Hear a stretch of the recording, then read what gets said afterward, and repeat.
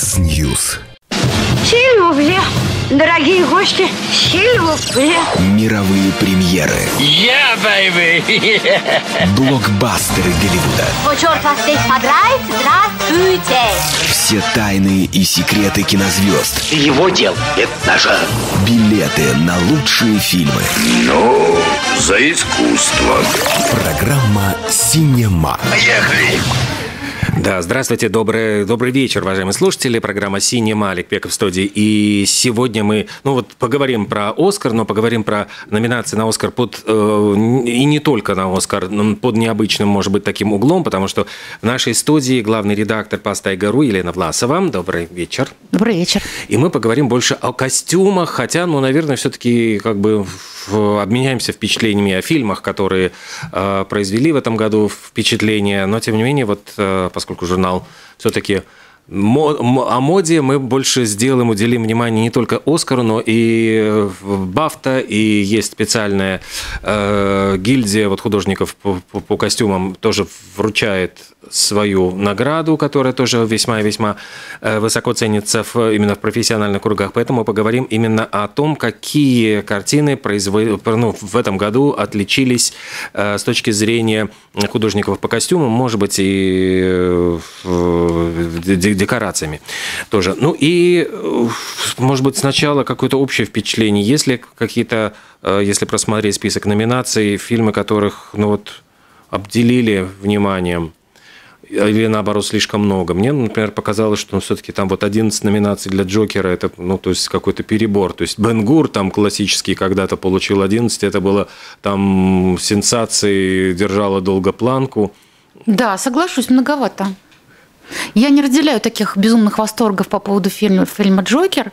Это, безусловно, ну, как бы очень крепкое, Яркий, хорошее, да, заметный. качественное, безусловно, качественное кино с выдающейся, конечно же, актерской работой Хайкина а, Феникса. Феникса. Но, а, ну, как бы 11 номинаций на Оскара, ну, Ну, Ребята. или, я не знаю, вот для меня, например, тоже фильм «Паразиты», вот это Пон Джун Хо, э, опять-таки, очень интересное кино, да, это, ну, любопытно, но вот сказать, что это вот шедевр на все времена, Нет, абсолютно как бы согласна. я тоже не могу. Вот есть мы видели множество азиатских картин гораздо более сильных, которые ну, сказали какое-то действительно новое слово в киноискусстве. Да? Здесь просто крепкая, хорошая картина. Но я думаю, что и секрет ее объясняется достаточно просто. Это, во-первых, во-первых, она космополитична. Те, э, та, та история, которая там рассказана, она понятна людям в любой, в любой стране мира. Да? То есть противостояние богатых и бедных, да, и желание э, одних э, прийти на место других, это все понятно.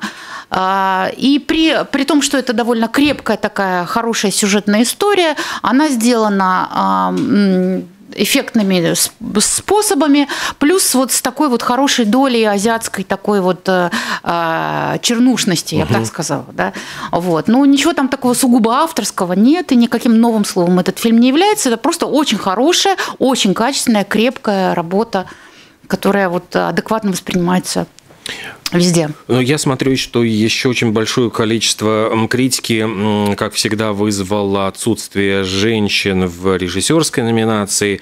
Но опять-таки вот было несколько фильмов, которые э, вот маленькие женщины Греты Гервик, э, также вот портрет женщины в огне, который, по-моему, тоже у нас будут показывать Селин с Яммы. Э, э, Картины, которые, ну, многие ожидали, что будут выдвинуты, но тем не менее вот их э, не отметили. Но при, при том, что женщин действительно в этом году достаточно мало э, на Оскаре, э, я думаю, что, по крайней мере, один фильм, это вот как раз «Маленькие женщины», да, Греты Гервик, Да. а, он получит все ковришки. Не, в, не в плане наград, но в плане э, какого-то э, признания, ну, по крайней мере, широкими массами. Да. Дело в том, что, ну, тогда, может быть, чуть поподробнее я про этот фильм расскажу, потому что он Мгм. вот-вот Да, вот да. выйдет тоже на наши экраны. Значит, этот фильм, он, а, ну, как, наверное, многие знают, он поставлен по культовому роману а, американской писательницы Луизы Мэй Элкот, ко- который был написан в 1868 году, то есть сразу после гражданской войны в Америке.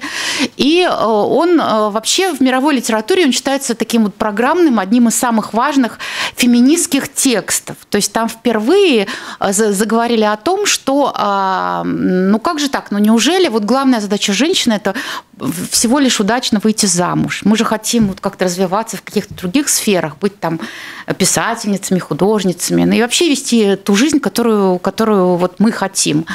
А, не обязательно же вот мечтать только лишь о каком-то удачном замужестве. Ну, по, вот в силу вот такой вот темы он является вот действительно феминистским очень этот текст.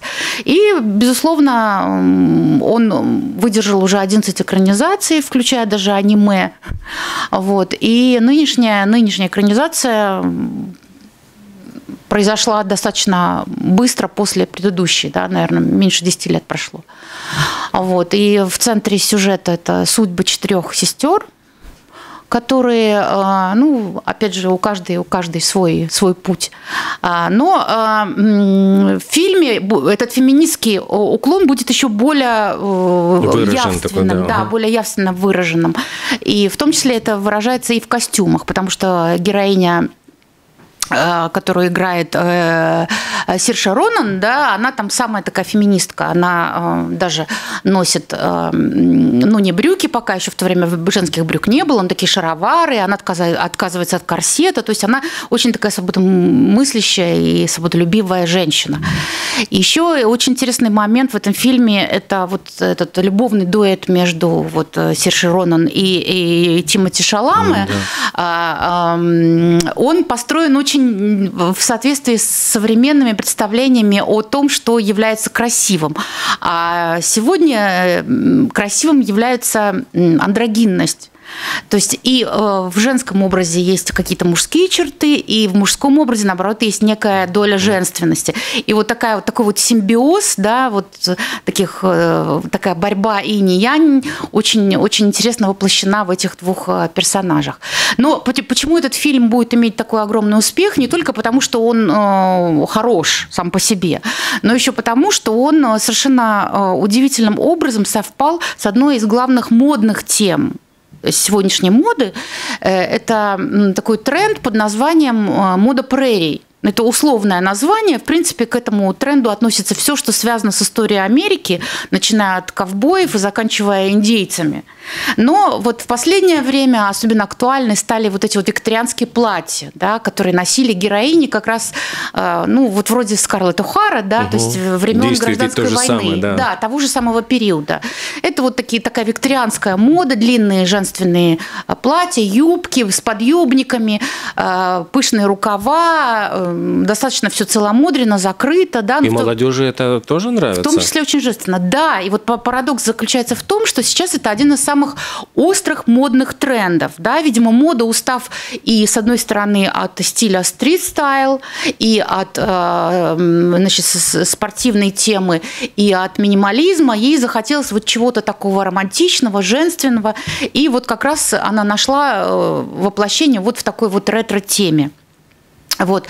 И, э, ну, безусловно, нельзя сказать, что этот фильм появился после того, как тренд стал востребован в моде. Э, ну, часто бывает, что вот какие-то общественные ожидания совпадают с какими-то продуктами, которые предлагают киношники, да, то есть как бы мода э, в жизни и в кино, она сходится. И, здесь вот перед нами как раз такой вот случай.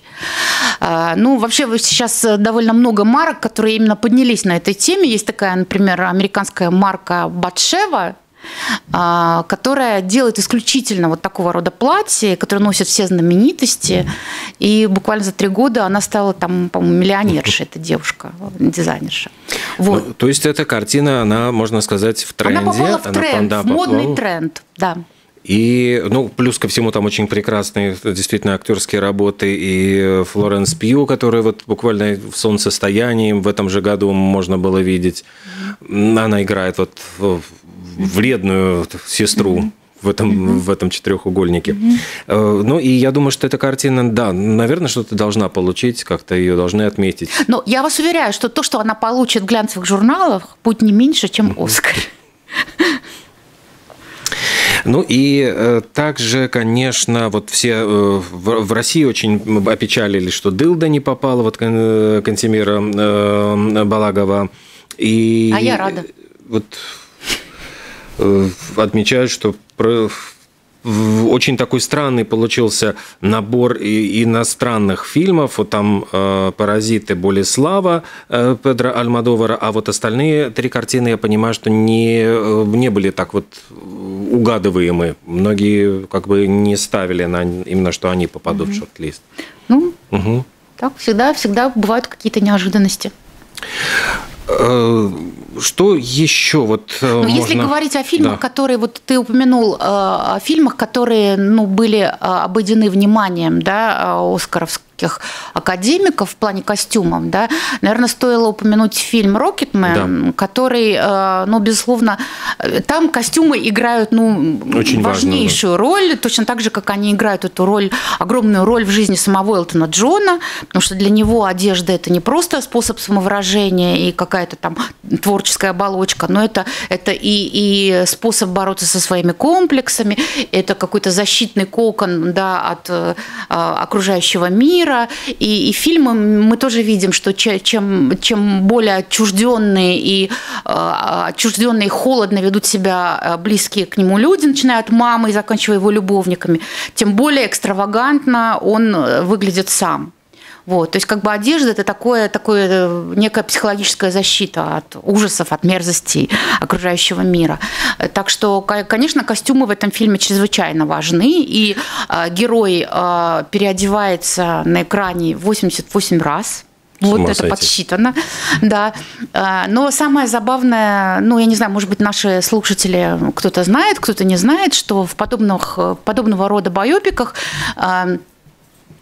невозможно использовать э, оригинальные Оригинальные. костюмы. Вот казалось бы, ведь... э, Казалось бы, что, что, проще? да. Заходи в, бе- в бесконечные гардеробные Элтона Джона, бери костюмы уже готовые, которые многие из которых он сохранил, или, по крайней мере, бери фотографии с его каких-то концертных там турне и делай такие же. А вот нет. Ну, тут все упирается в авторские права. То есть потому- ак- на костюм, оказывается, существует... да, отдельно- костюм является объектом авторского права, и если ты собираешься его использовать в, в том виде, в котором он существовал там в свое время в фильме, то ты должен платить очень, а, очень большие авторские отчисления Вот, авторам костюма. Кажется, вот странно, он же купил этот костюм. Ну, вот, э, условно... Это не важно. Да. Это считается коммерческое использование да, интеллектуальной собственности.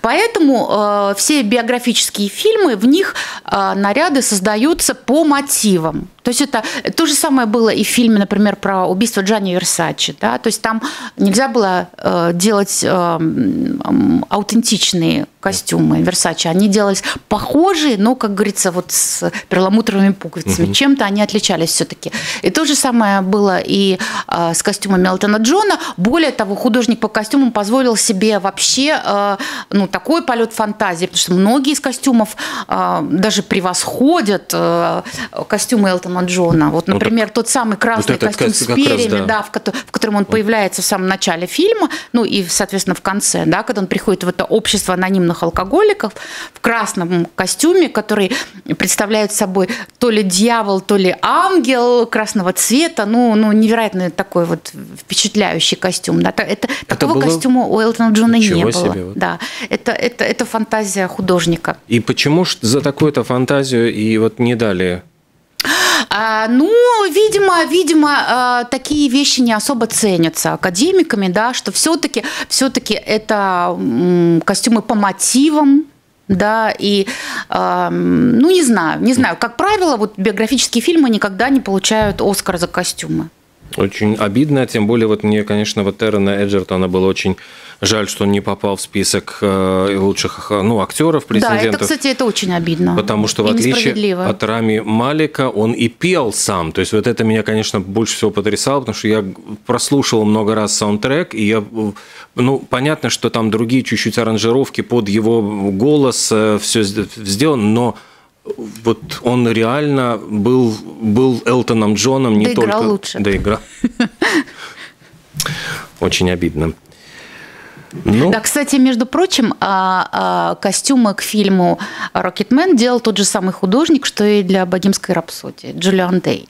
А в «Богемской рапсодии» тоже не выдвигали. Тоже.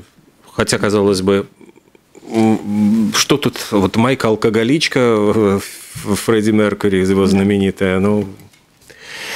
Что же, у нас сейчас, наверное, время для небольшой паузы, после чего мы вернемся и продолжим программу «Синема». Я напомню, что сегодня главный редактор «Постай гору» Елена Власова в нашей студии. Мы обсуждаем костюмы, самые яркие фильмы с точки зрения созданных для этих картин костюмов.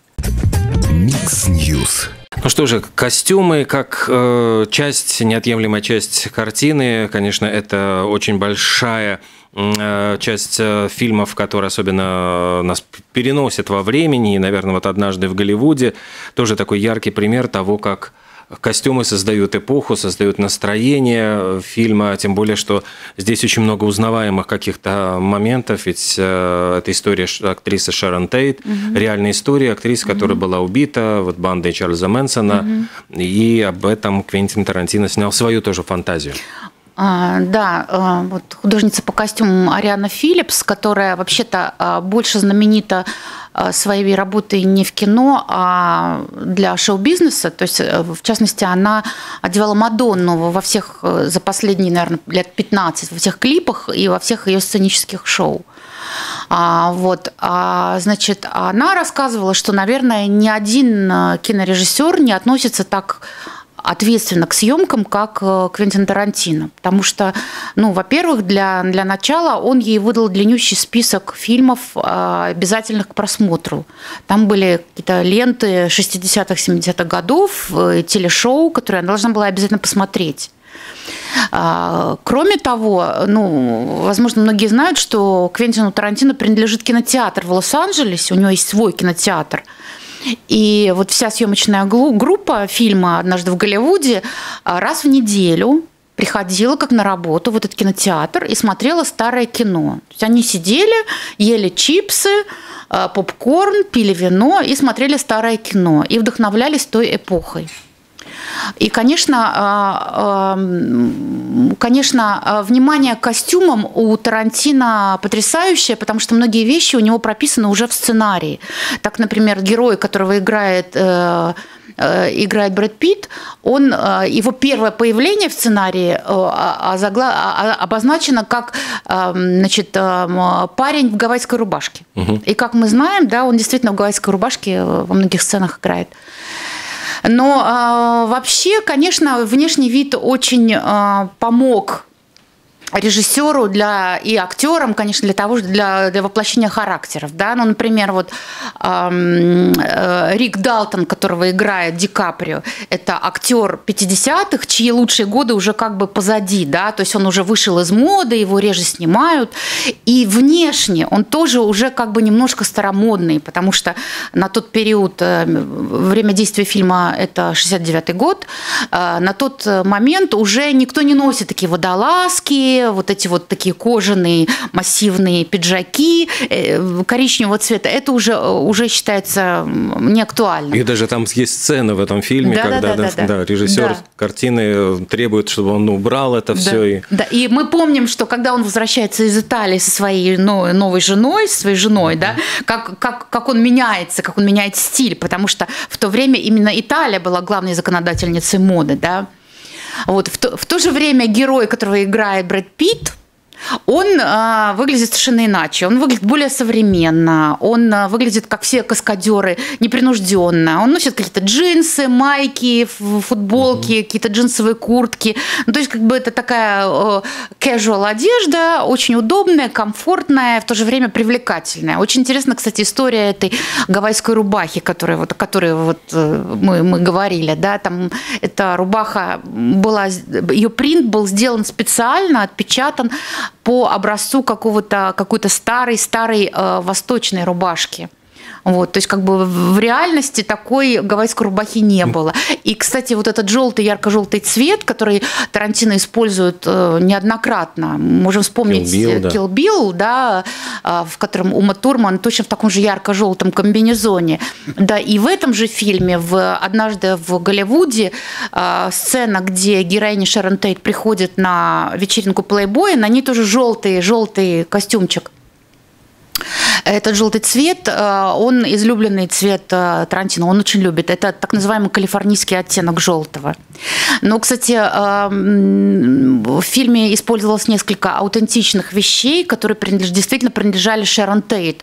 Потому что ее сестра Дебра, она, узнав о том, что будут съемки такого фильма, она просто предоставила какие-то украшения своей сестры и, и, и пару каких-то даже предметов одежды.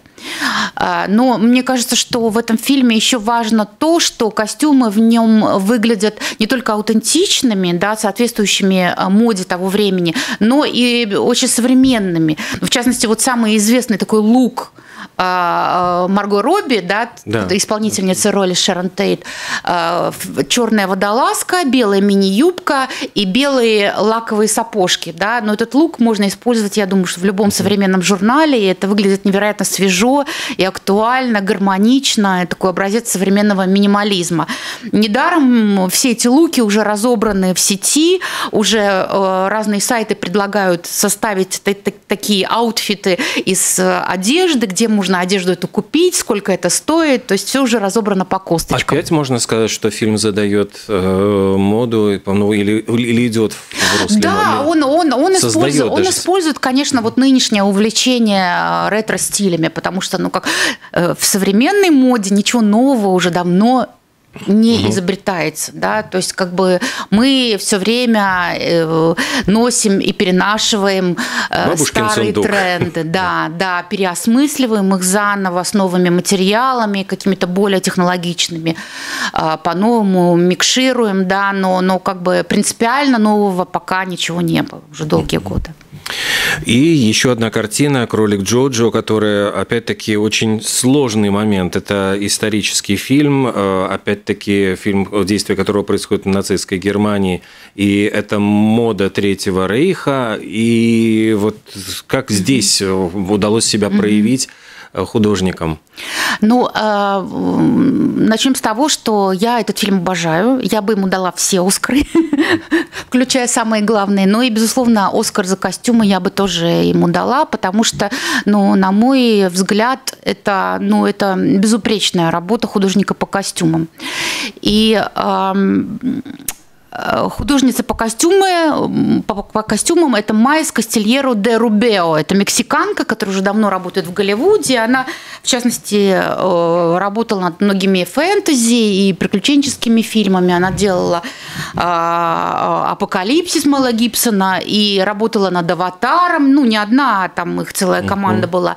И, в частности, она делала предыдущий фильм того же режиссера, сейчас о режиссере немножко отдельно скажу, да, «Тор», Рагнарёк, угу. такой вот странный фильм был, да, вот тоже она работала над Вселенной Марвел, да. Да, то есть, то есть как бы она, она делала и, и, и такие костюмы комиксные, скажем так, да, но здесь совершенно другая история, да, здесь э, действие фильма действительно происходит э, в Германии в 30-е годы, уже вовсю, значит, зародился фашизм, и, э, но эм, действие все как бы показано глазами маленького мальчика, который будучи одиноким как многие дети, у него есть воображаемый друг. И этот друг никто иной, как Адольф Гитлер.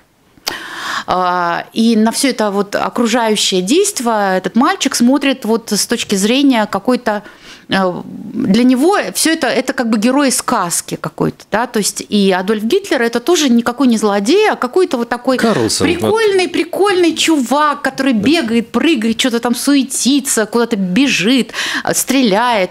Ну, э, ну, со временем, безусловно, он как бы в герое, в этом своем воображаемом друге он разочаровывается, как и, собственно, во, во, во, во всей нацистской угу. э, э, машинерии, да.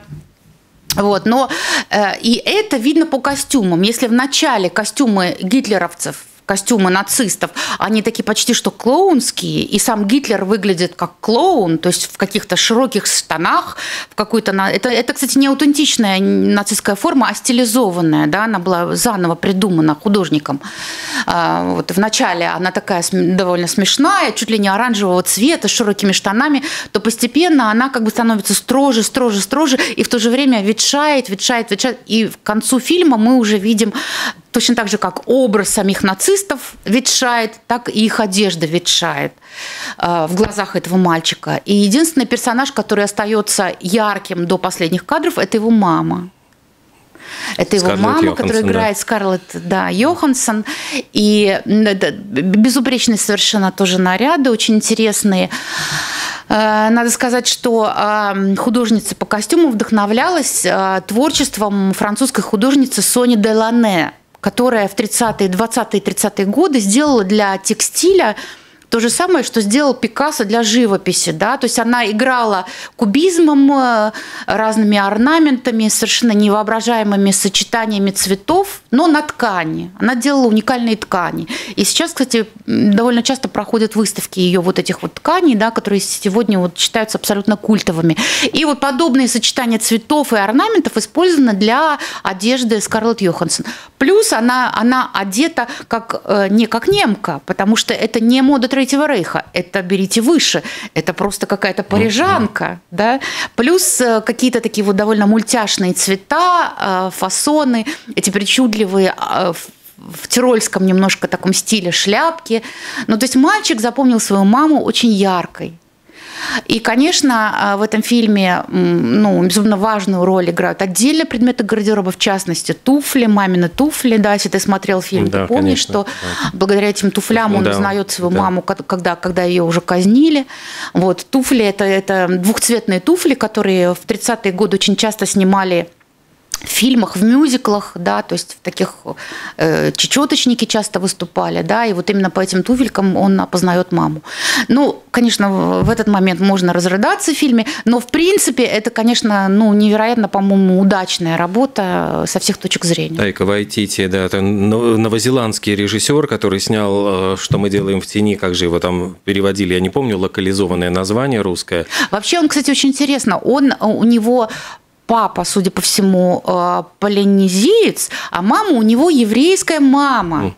И этот э, мальчик, он тоже, так же как и герой этого фильма, вот, э, о котором идет речь, он тоже всегда в школе, он чувствовал себя изгоем немножко, потому что он и не там, и не там, да, вот он такой. вот. Инаковость Поэтому он знал, о чем он снимает кино. Но мне показалось, что этот фильм еще будет очень интересен тем, кто застал еще советскую эпоху, потому что вот это э, двоемыслие, о котором говорил Оруэлл, оно присутствовало ведь и в- вот в нашей жизни, э, когда родители слушали там по приемнику голоса, но не могли объяснить детям, э, вот что они слушают, что они делают, и почему в школе говорят, что там дедушка Ленин хороший, и что мы там идем к, к коммунизму. Вот эти вот все какие-то вот вещи, которые вот тоже э, присутствуют. Ну, то есть мне показалось, что очень много параллелей можно найти, и это находит какой-то отклик, отзвук вот в наших каких-то.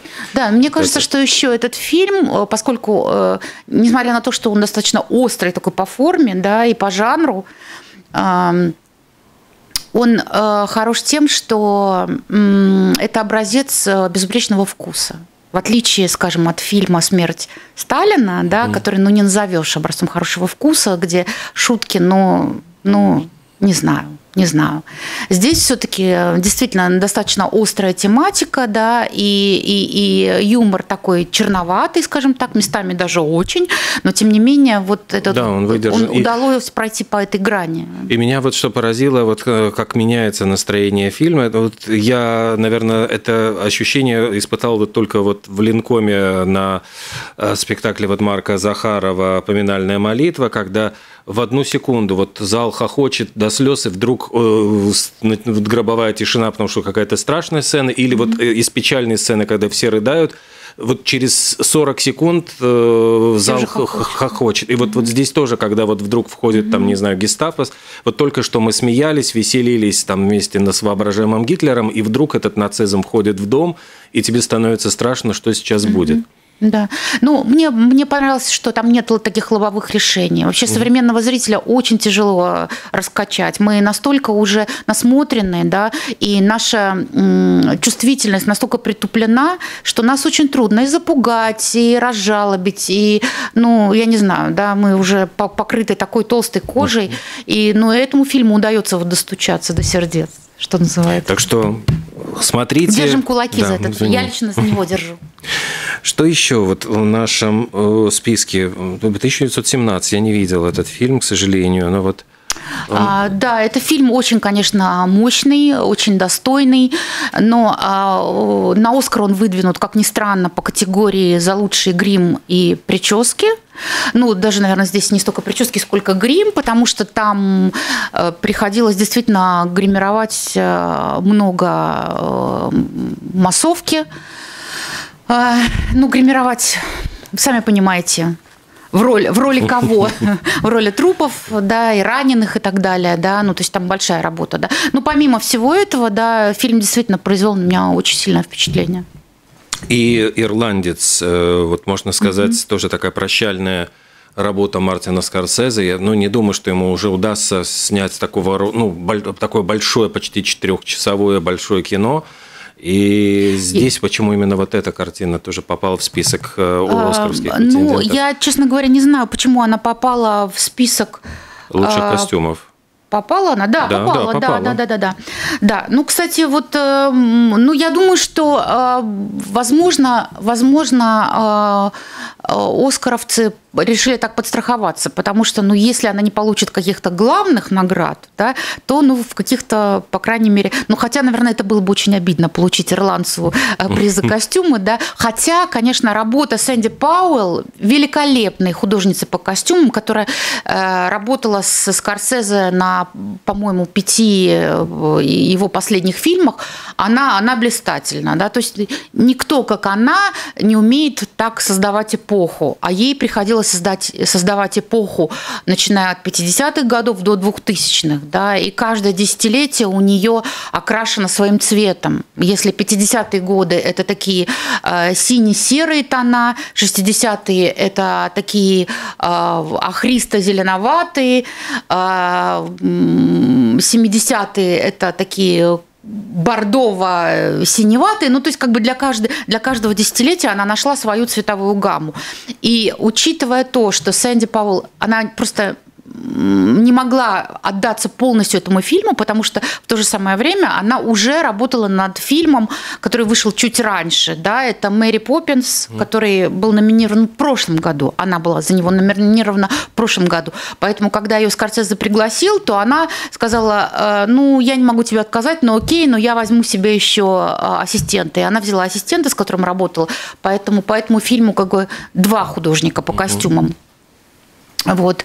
Но э, я не знаю, ну сам, сам фильм, ну Скорцезе есть Скорцезе, да, как говорится, талант не пропьешь. И большой мастер сделал очередную большую работу. Но лично для меня там не было ничего нового. То есть мы видели такого Де Ниро, мы видели такого Аль Пачино, мы видели всех этих мафиозников, да, и, ну, ну не знаю, все это качественно, очень кропотливо, очень эм, эпично, я бы так сказала, да, эпично, но, но вот мне кажется, абсолютно вот эти слова можно вырезать и копипейстом сделать э, к Звездным войнам, к, к последнему фильму саги, где тоже э, все старые герои вот выходят, у каждого есть свои пять минут для прощального монолога со зрителем, и вот они, вот у меня все время э, кажется, что саундтреком должна звучать песня «Давайте не громко, давайте в полголоса», потому что вот под эту, как будто бы вот под это настроение они прощаются, и э, печально, ну вот мы видим Кэрри Фишер, которая три года до премьеры уже скончалась, но а, как было у Евтушенко, ткнут прошашлыченным пальцем кассету и пой, даже если тебя уже нету. Да. Песня про Высоцкого. Вот получилось так, да. что Дисней э, воскресил актрису для того, чтобы э, вставить ну, в, ее, в ее в этот фильм. И здесь тоже, опять-таки, костюмы, я понимаю, очень э, играют большую роль, но опять-таки очень важно было, очевидно, э, ведь все эти маски императоров, там костюмы штурмовиков, они были созданы еще 40 э, лет назад. И вот нужно, с одной стороны, не обидеть фанатов, не отпугнуть их там чем-то новым, но в то же время как-то проявить себя. То есть вот здесь, наверное, mm-hmm. задача достаточно была сложная. Ну, вот художником по костюмам всех послед... последних трех фильмов «Звездных войн» был Майкл Каплан, который как раз в этом году получит приз за достижение, за, за карьеру от гильдии художников по костюмам. Это очень почетный приз, который, который получают все ну, величайшие художники по костюмам. Вообще, этот человек, э, у него прекрасная биография, прекрасная фильмография, и «Звездные войны» далеко не лучшее его творение. Да? Начнем с того, что он делал... Один из первых фильмов, которые он делал, это «Бегущий по лезвию» Ридли Скотта. И он сразу же получил за него премию, премию гильдии художников по костюмам. А, плюс он делал а, несколько фильмов а, с, с Дэвидом Финчером. Семь он делал бойцовский клуб, uh-huh. он делал. А, но самое, то, что, то, что мне больше всего понравилось, это сериал э, «Алиенист», который вышел в прошлом году, uh-huh. тоже выдвигался по, во, во многих, э, на многих номинациях э, за лучшие костюмы. И сам этот художник, он говорил, что 40 лет он ждал момента, когда будет возможность сделать исторические костюмы, и наконец это он их сделал. 19 по-моему, да, век там действие происходит? Да, это. да.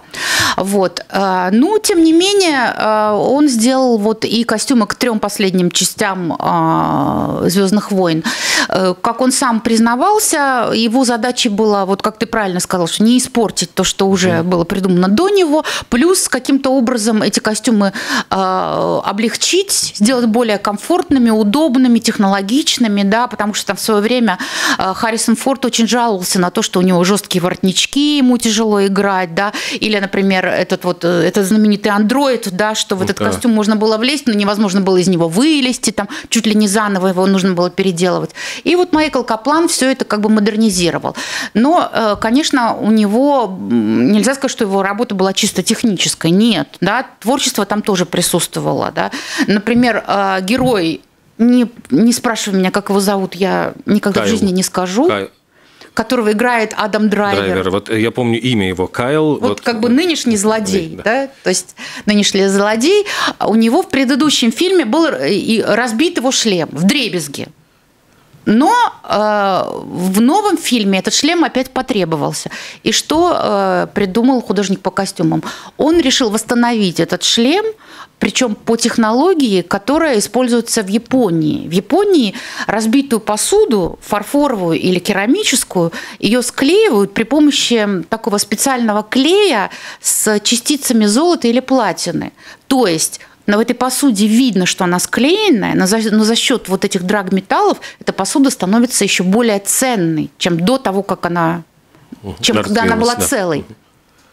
И вот по такому же принципу он как бы склеил этот шлем, там видны такие прожилки, но он добавил не золото или серебро, как это японцы делали, а добавил красную краску. И получилось, что у него этот шлем, он как будто там вот опоясан такой кровеносной системой, да, то есть он как будто он пульсирует.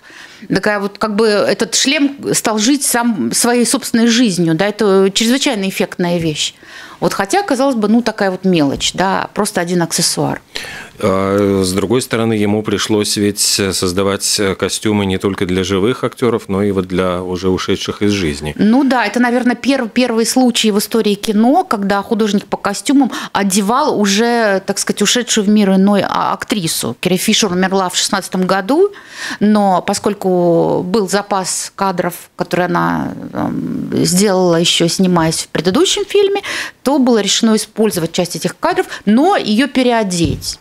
И э, художник по костюмам по ее меркам шил ей новые наряды. И я уж не знаю, при помощи каких высоких технологий эти новые наряды на нее одели. Вообще вот. удивительно, да, конечно. Да. Это живем в каком мире, то есть да. актрису. И самая последняя финальная сцена, в которой она появляется, она одета в белые наряды, точно такие же а, как какие самом... были на ней в самом первом фильме 40 лет назад. Я напомню, что все, Дисней как будто бы завершил эту сагу, но с другой стороны, э, я понимаю, что э, приключения там с новыми героями продолжатся, то есть они будут выжимать эту вселенную. Э, Лукас, Джордж Лукас, который продал Диснею вот с потрохами э, у меня ощущение, что вот как на невольничьем рынке своих детей. Ну, то есть, вот, ну, просто за эти 2 миллиарда он э, отдал, и Дисней дальше уже начал распоряжаться всеми его задумками. Э, мы не сказали, правда, про Джуди, не вспомнили, хотя тоже, наверное, да. яркая тоже картина. Да, картина неплохая скажем так. И э, особенно неплоха мне актерская работа Рене Зелвегер. Она тоже сама поет. Вот я она сама поет, и, и она прекрасно двигается, она в отличной форме в этом фильме. Она играет Джуди Гарланд. Она играет Джуди Гарланд, то есть маму Лайза Минелли, выдающуюся актрису, которая э, знакома каждому, наверное, американцу. Да. «Волшебник страны Оз» да, и, да, и многие другие да. фильмы. А, ну, э, э, это, эта картина получила по-моему, да, она получила номинацию на Оскар тоже за грим и прически, потому что потому что э, Рене там довольно сильно состарили. Это, это не бросается в глаза, но это, это есть, потому что, конечно же, а, Джуди Гарланд э, в тот период времени, о котором идет речь в фильме, она была значительно старше, чем Рене. А, костюмы там тоже очень достойные, очень интересные. Но интересно, что художница по костюмам а, решила сделать из Джуди такую, ну как бы это сказать, рокершу то есть такую женщину-рокера, да, то есть по ее мнению Джуди Гарланд была вот такой предтечей Эми Уайнхаус, ни много ни мало, да, то есть э, женщина с душой рок-н-ролльщика. И в костюмах это тоже вот прослеживается, да, потому что, конечно же, мода 60-х годов была ну, достаточно буржуазной, но Джуди могла себе позволить многое. И в частности, она часто носила брюки, да, то, что в то время было не, не очень-то принято. Ну и вообще, и вообще она отрывалась по полной программе в плане одежды.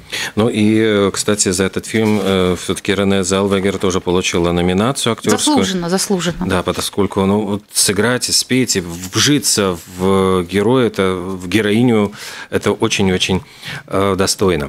Что же, на самом деле все, час пролетел, и мы как-то совершенно незаметно. Э, спасибо огромное. Елена Власова, главный редактор журнала «Паста и гору». Сегодня вот мы обсуждали э, кино с точки зрения костюмов, какую роль костюмы играют в кинематографе. Спасибо большое. Спасибо вам. И хочу пригласить всех наших слушателей посетить кинотеатр Splendid Palace, где идут практически все оскаровские, все главные оскаровские номинанты.